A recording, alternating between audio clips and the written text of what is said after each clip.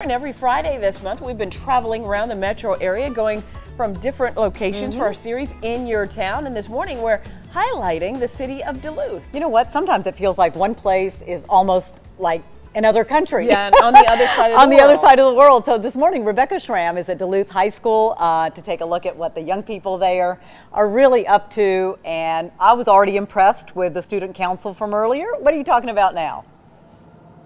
Well, you know what? I tell you what, this is the kind of school, it's so big. If there's anything you want to do, you can do it here at Duluth High School. You want to build a robot? No problem. There's one here that shoots t shirts. Watch this. They're going to shoot. Oh, there goes. These students built that thing, which is, is really amazing. And you know what? I discovered you can even learn how to build machines and robots in class.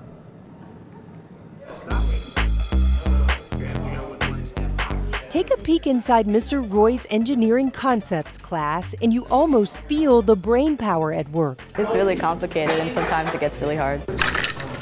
Freshman Kenna Chaik Mora was a little intimidated at first, but before long, she and her teammates were building a robot that sorts marble sized balls based on what they're made of. And you tell the robot, like, when this happens, do this, or when this doesn't happen, do something else. recycling is the real world problem, and they're trying to basically separate the materials from the recycling truck.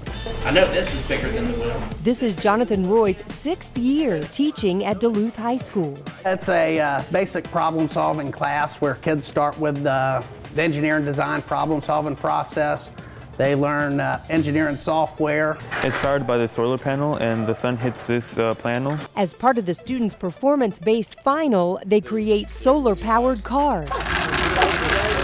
What we're trying to do is go make it go the furthest distance. Rodolfo Esparza is a junior. He realizes this class could help him fulfill his dream of becoming a mechanical engineer. It is amazing to think about like we could just this is a class that where you could like just go on and after high school and get a job.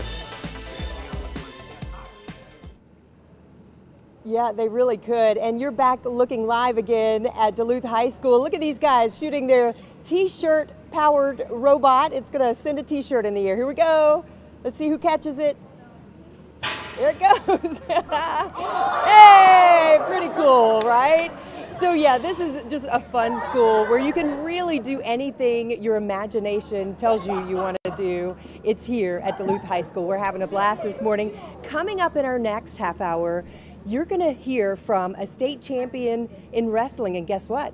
It's a female. Oh, How about that? Back to really? you, ladies. Well, that'll be oh. interesting. Yeah, breaking some boundaries. I love there. that. And you know what's so cool about the robotics thing is that it's not only fun, but clearly it's got so many practical applications too in terms of being able to find a job after you get out of school.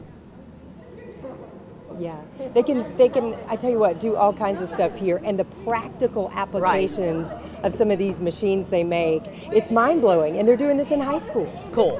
Yeah, Very most good. students know it too. Rebekka, thank you.